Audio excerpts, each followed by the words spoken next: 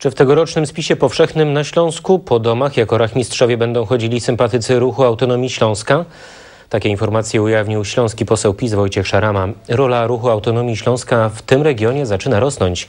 Nic dziwnego, działacze RAŚ zostali zaproszeni przez Platformę Obywatelską i PSL do koalicji w Sejmiku Województwa Śląskiego.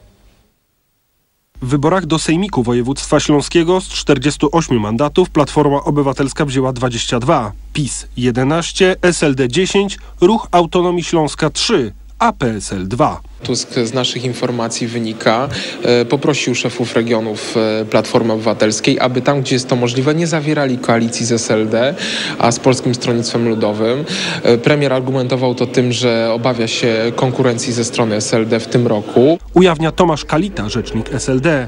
Z PiSem też nie rozmawiano, więc powstała koalicja PO, 22 mandaty, PSL 2 i RAŚ 3, razem 27 głosów.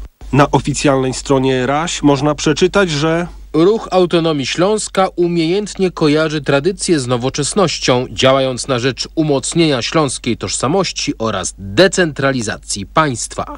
Ta organizacja dąży do doprowadzenia kwestii autonomii Śląska do takich rozmiarów, że będzie powoli to zagrażać e, polskiemu państwu, państwu polskiemu, czyli państwowości. Odczytuje internetowe deklaracje ruchu Tomasz Fabiszewski, wiceprezes powiernictwa polskiego. Działacze PO tłumaczą, że koalicję z RAŚ stworzyli po to, by przeciągnąć działaczy ruchu na swoją stronę. Jedna taktyka polega na izolowaniu, druga polega na wciąganiu we współrządzenie po to, żeby stępić radykalizm postulatów. Koledzy ze Śląskiej Platformy zdecydowali się na to drugie rozwiązanie. Po owocach ich poznamy. Ale owoce takich działań mogą być bardzo gorzkie. Raś będzie rozbudowywał swoje struktury, uważa Ludwik Dorn, poseł niezrzeszony. Jeżeli dopuszcza się tego rodzaju ruchy do władzy publicznej, dyspozycji rozdziałem e, pieniędzy publicznych na promocję ich idei, to one rosną w siłę. A są jeszcze inne elementy. W Sejmie już leży wniosek dotyczący Gwary Śląskiej. Tu bardzo wiele zależy od e, tego, jakie będzie głosowanie nad tą ustawą o uznaniu e, mm, Gwary Śląskiej za język regionalny.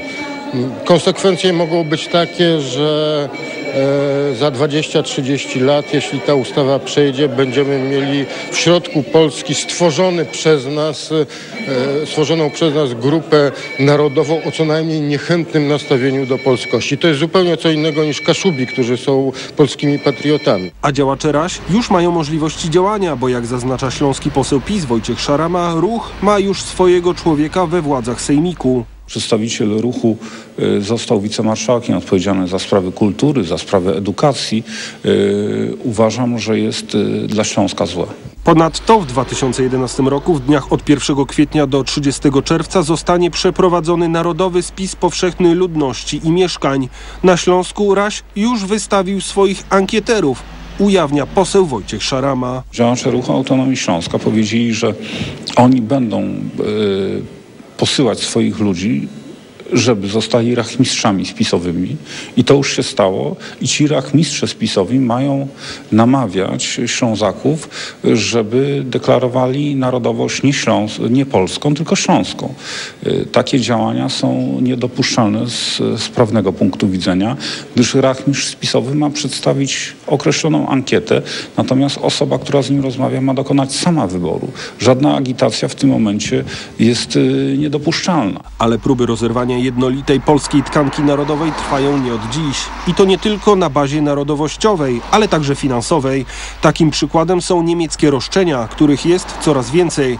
Tak jak tu w Gdańsku przy ulicy Polanki 58. Kamienica przy Polanki 58 została przejęta przez spadkobierców y, dawniejszego właściciela. Spadkobiercy mieszkają obecnie w Niemczech.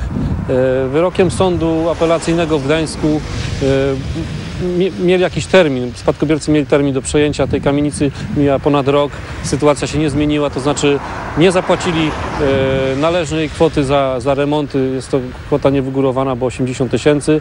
E, jednocześnie gmina zostawia nas w takiej sytuacji, że e, no nie, nie daje jakichś konkretnych perspektyw i rozwiązania naszego problemu, to znaczy mieszkania które spełnia takie standardy współczesnego życia no, w mieście, w tak dużym mieście. Budynek jest w coraz gorszym stanie, mieszkańcy płacą coraz większe rachunki za gaz. Jest problem z odśnieżaniem i remontami bieżącymi, a jeszcze trzy lata temu wszyscy słyszeli zapewnienia, że będzie się żyło lepiej.